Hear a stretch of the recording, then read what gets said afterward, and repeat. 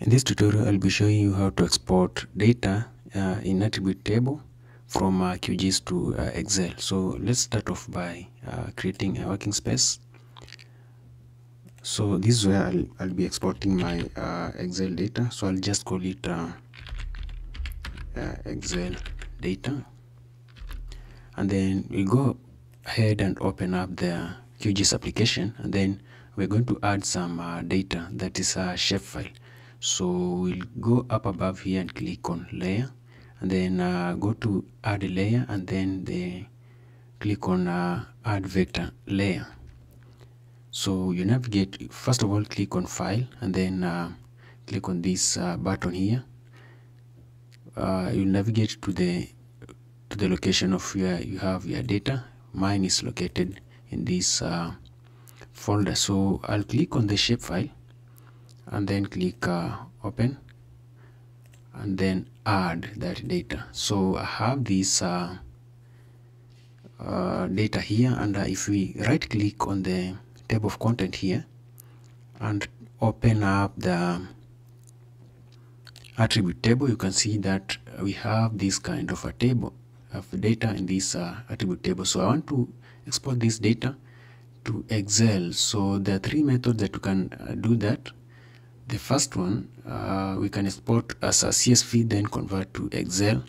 The second method, you can ex export directly as Excel. And then the third method, you can copy this data into uh, Excel.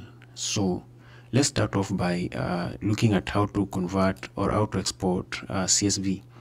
Now, uh, right click on it and then uh, go to export um, export and then select uh, save feature as like that. And then uh, the format here. So select the format as uh, comma separated value CSV and then uh, here on the file name click on this button so that uh, you specify where you want to store the data. Remember we created a working space here called excel data so that's why i'm going to uh, save that particular data. So i'll give it a name say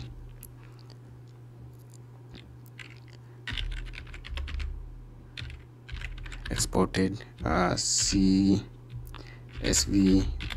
data like that. And I'll click on save. Uh, so the projection leave it as default. And then uh, you can select actually field to export. For example if you click on this I can decide that I don't want to export uh, the ID and then geometry leave that uh, as it is then um, uh, you can also uncheck this persist layer metadata. But uh, if you want to export the metadata you can leave it uh, uh checked. For this case I'm going to uncheck it. And then uh, also make sure that you uh, select the add saved file map this one here. Then you click OK. And immediately receive this information that the data has been exported as a CSV. If we minimize this and go to the uh, working space here, you can see we have uh, CSV data. So if I double click on it, you have your CSV. So uh, from here you can convert CSV to uh, Excel by simply clicking on File, then go to Save As, and we're going to save it in the same folder, or just uh, click on the same folder and select um, Excel workbook and click save. Just like that you have your uh, Excel data. Now let's quickly go to the second method. Uh, so move to the second method.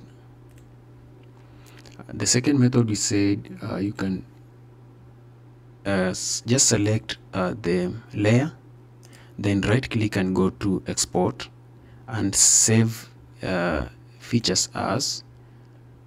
This time round we are going to select format as um, as uh, Excel. So we have this option here MS Office Open Excel spread uh, spreadsheet this one. And then uh, click so this one we can give it a name again.